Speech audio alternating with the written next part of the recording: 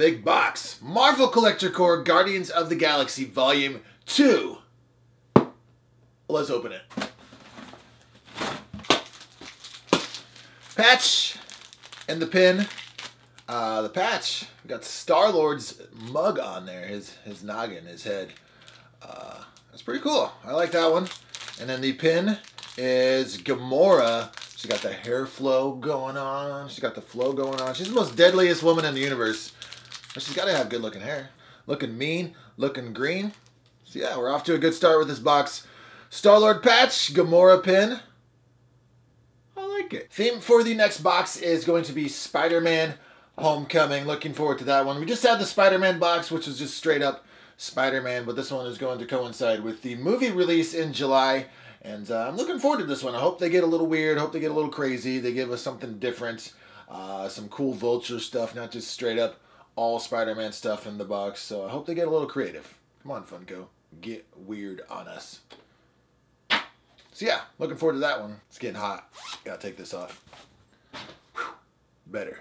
Next thing out of the box is the comic, the variant cover of Secret Empire. We've got Groot and Rocket, baby, uh, baby Groot and Rocket. They are jamming out to some uh, some music, probably some '80s rock, some soft rock, Hall and Oates. Please be Hall and Oates. It's got to be Hall and Oates.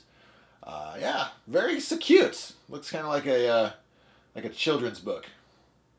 Yeah, that's the comic.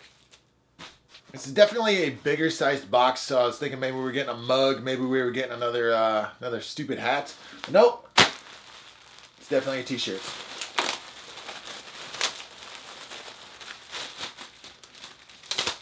Get out of here. Alright. I like it. I like the design on this.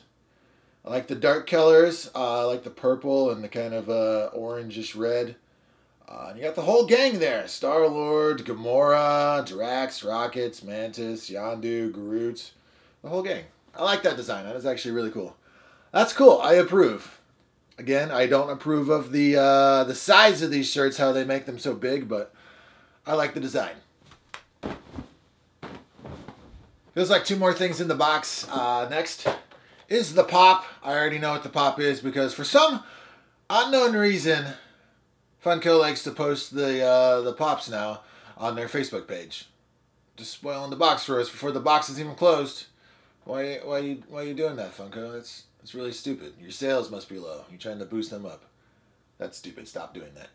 Uh, but anyway, the pop is rockets with a little baby Groot on top.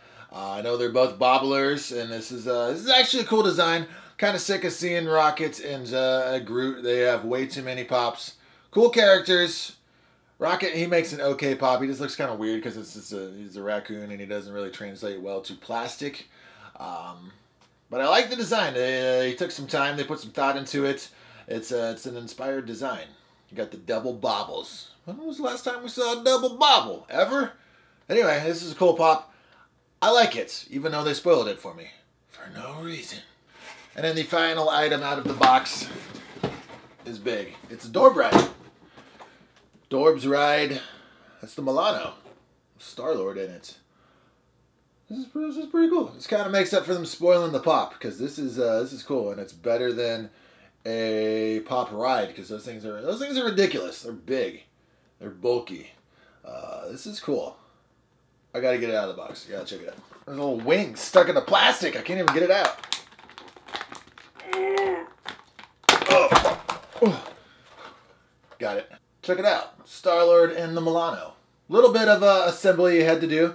Uh, but this is really badass. They put a lot of thought and detail into this.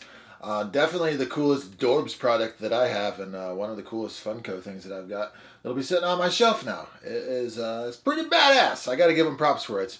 I give Funko a lot of shit for their uh, subscription boxes because sometimes, sometimes they just do some dumb stuff. But this is cool. I like this a lot. It's gonna look badass on my shelf.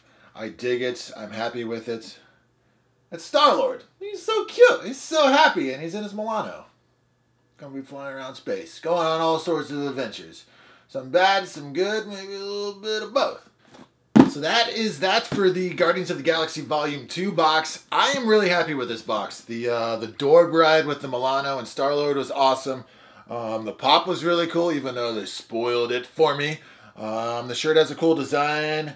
Uh, patch and pin were cool. Comic was cool, I guess. And uh, you got a little big ass baby Groot head on the uh, on the box here. So yeah, I'm really happy with this box.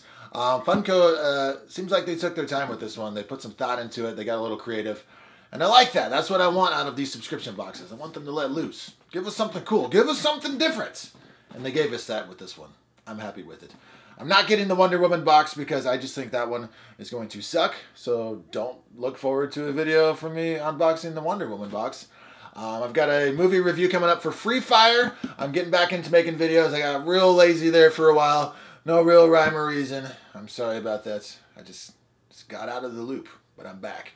Um, so what did you think of the Guardians of the Galaxy Volume 2 box? Tell me down below in the comments. Thumbs up the video, subscribe to my channel for more videos, and uh... See you, bye.